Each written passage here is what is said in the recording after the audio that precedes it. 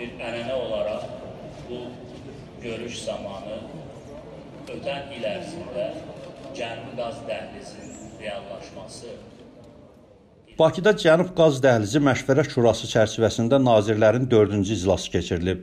Cənub Qaz Dəhlizi Bakı-Tbilisi-Ərzurum qaz kəmərinin genişləndirilməsini, həmçinin Türkiyədə Tanap qaz kəmərinin tikintisini və onun Avropaya qədər uzadılmasını nəzərdə tutur. Layihənin nəzərdə tutulan uzunluğu 3500 kilometrdir.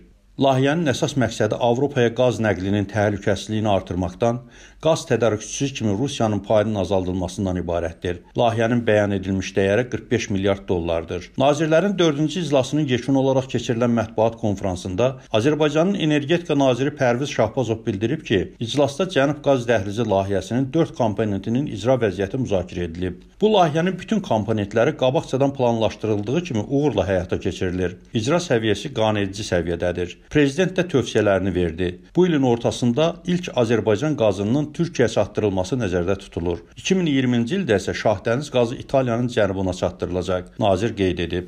Avropa Komissiyasının Enerji Birliyi üzrə vitse-prezidenti Məşvərət Şurasının həmsədri Maroş Şevçoviç deyib ki, Cənub qaz dəhlizi layihəsinin hesabına Avropa İttifaqı ölkələri 2020-ci ildən təbii qazla daha etibarlı təmin ediləcək. Cənab Şefçoviç Amerikanın səsinin Türkmənistanın Cənub qaz dəhlizi layihəsində iştirakı ilə bağlı danışıqlar barədə sualının cavabında bildirib ki, Bakıda Türkmənistan təmsilçisi ilə bu məsələlər müzakirə edilib. Amerika Dövlət Departamentinin Enerji Ehtiyatları Bürosunun beynəlxalq enerji məsələləri üzrə xüsusi elçisi və əlaqələndiricisi vəzifəsini icra edən Suyu Sarniosi Amerikanın səsinin Cənub qaz dəhlizinin və Xəzərdə enerji obyektlərinin təhlükəsizliyi ilə bağlı sualının cavabında deyib ki, layihənin təhlükəsizliyi məsələsi Amerika administrasiyası dünyasının diqqətindədir. Tapdıq Fərhadoğlu, Pərvanə Bayramova, Bakıdan Amerikanın səsi üçün.